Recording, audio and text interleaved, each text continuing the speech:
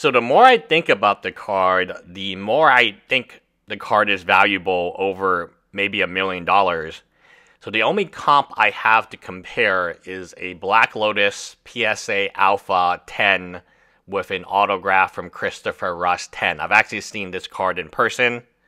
I believe there are two PSA 10 Black Lotuses, uh, and this is one with a signature. I don't know if the other one has a signature on the actual card. A lot of times they have signatures on the case of the card, which I find very foolish, but it is what it is. And that card at the time was going for $400,000, $500,000 in trade.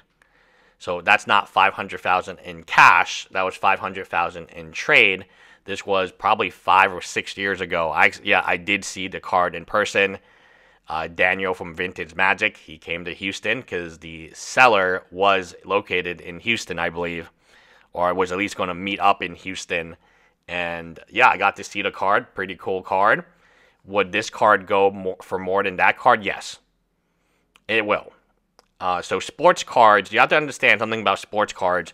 There is the Mickey Mantles and the vintage cards are, are obviously very expensive, but the one on one Luka, the one on one Steph rookie, the one on one, even just take Luka one on one. Currently, for a non autoed black one on one in Prism, Luka's rookie year, it has a offer from Shine. We, we might remember Shine as the guy who bought the fake uh, Pokemon case for like 1.3 million from Melee Pops and Card Kahuna, who ran away. No one's able to identify where Card Kahuna is today. He just kind of left with his money. But he is a huge buyer, and he's put a bounty of between 1.5 million and 2 million. Meaning, if you open the card, he'll give you 1.5 million drop to your door. He'll travel, he'll fly wherever you are 1.5 million any way that you want it, cash if you want cash, and he will give you that. It's a black one-on-one Luka. I do not believe it has even an autograph to it because it's a one-on-one. It is a modern card. It is very expensive. It's very comparable, I think, to this. This is a modern card.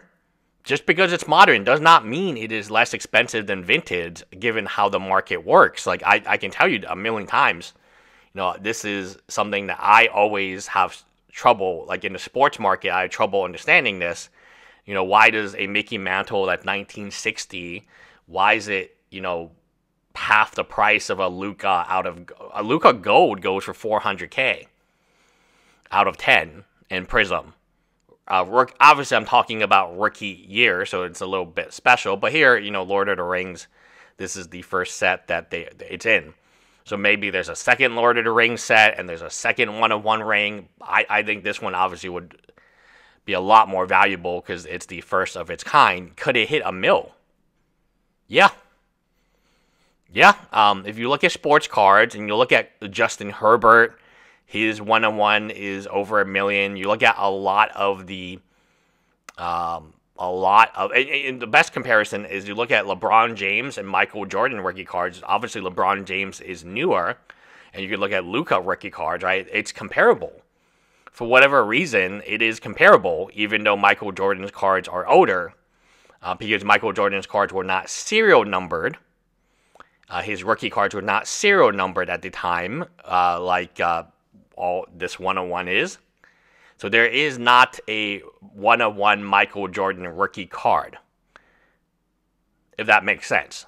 So it's more, it's very similar to Magic. In fact, 1987, I mean, it is almost around the same period Magic was printing Black Lotuses, where a Black Lotus is a Black Lotus. There are no serial numbered Black Lotuses.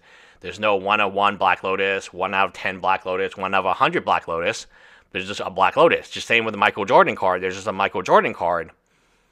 Then when you get to today and the Luka 101 Black Prism being upwards of 1.5 million at least, that's the offer from one guy who dropped cash at your door. You might actually have a higher offer if the, you get a second bidder around. This card could easily clear, I think, a million dollars if it is pulled and obviously you probably need to get it graded. It doesn't really, I mean, I don't know. It's always get, I guess, get it authenticated just in case, but Could be a million dollar magic card. Could be the first million dollar magic card in the history of the game. Let me know if you guys agree, disagree in the comments below. It's very you know, it gets me my juices flowing because now like I love opening packs. Now you literally have a one million dollar lottery ticket. Hi guys.